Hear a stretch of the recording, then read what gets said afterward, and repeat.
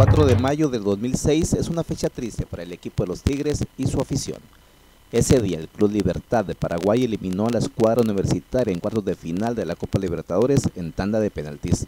Y ahora que Tigres está a punto de volver a participar en esta justa continental, en la ciudad se encuentra un sobreviviente de aquel cuadro guaraní. Se trata de Edgar Balbuena, quien actualmente es el capitán del equipo peruano Juan Aurich, rival de los felinos de este miércoles en el arranque de la fase de grupos de la Libertadores En el 2006 tú tuviste la oportunidad de venir aquí a jugar en, el estadio universitario.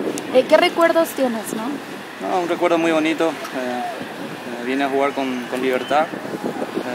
como saben ustedes contra Tigre, bueno, nos fue bastante bien ese compromiso, creo que empatamos y para nosotros era un buen resultado, entonces definimos en Asunción. Eh, tengo un lindo recuerdo de ese compromiso y bueno, espero que, que no sea la excepción y que hagamos un buen partido también con, con Nauri, con este nuevo equipo mío y, y bueno, con la esperanza de hacer un buen partido.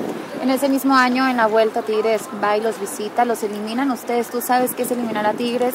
Eh, ahora, ¿qué, ¿qué, esperar en este equipo con el que estás y tú siendo capitán?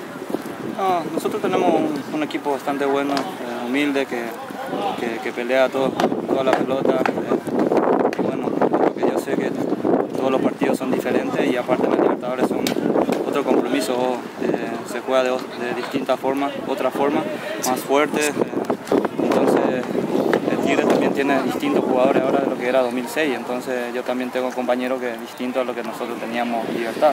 Nosotros en Libertad teníamos un buen equipo también, acá también. Entonces la ilusión de nosotros y mío también como capitán y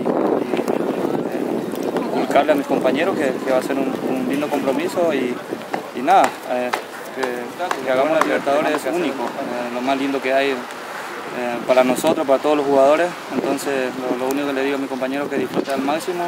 Y bueno, esto es un fútbol que donde todo el mundo ve, entonces que demuestren lo que, lo que saben hacer dentro del campo, con la gente linda que va a ver ahí dentro del estadio.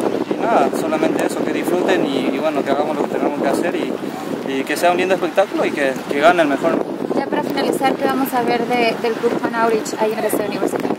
No, van a ver